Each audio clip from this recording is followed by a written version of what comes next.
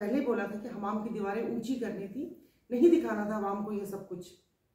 और जिस तरीके से इलेक्शन कमीशन उनका किरदार रहा है कि बस उस पर तो मेरे ख्याल में कोई किरदार है ही नहीं किरदार लफ्ज़ नहीं बोलना चाहिए। और बाकी रही हमारी बात हम तो अपने रखवालों के आसरे पर आराम से बैठे हुए थे हम्म। कि बस ठीक है हमारे रखवाले हैं यहाँ पर।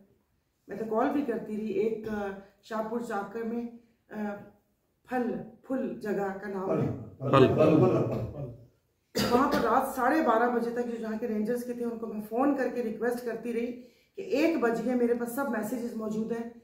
उनकी कॉल्स भी मौजूद हैं, उनके मैसेजेस जो मैंने रिक्वेस्ट किए हैं, हाथ जोड़ के रिक्वेस्ट किए कि प्लीज़ वहाँ पर आप किसी को भेज दें, वो रिज़ल्ट नहीं दे रहे।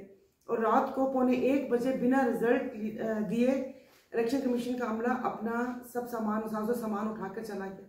तो मैं जी इतने बड़े ड्रामा की ज़रूरत क्या थी? जब आप लोगों की डील हो गई है दे दिया आपने सिंध जहेज में किसी को और मुल्क का फैसला भी करना है जहाँ पर ख्वाहिशात पे अमल दरामद हो तो फिर ये सब सारे आवाम के जज्बात से क्यों खेले? क्यों हम हम लोगों का पैसा भी क्यों ज़ाया किया? तो इसकी मजम्मत मेरी हर फोरम पे मजम्मत है और कोई भी ना कहे कि किसी बात के ऊपर हम लोग अब चुप बैठेंगे। रिज़ल्ट कहाँ से जारी हो रहे हैं? रिज़ल्ट रिज़ल्ट जहाँ से जारी होते हैं वहाँ से रिज़ल्ट जारी हो रहे हैं।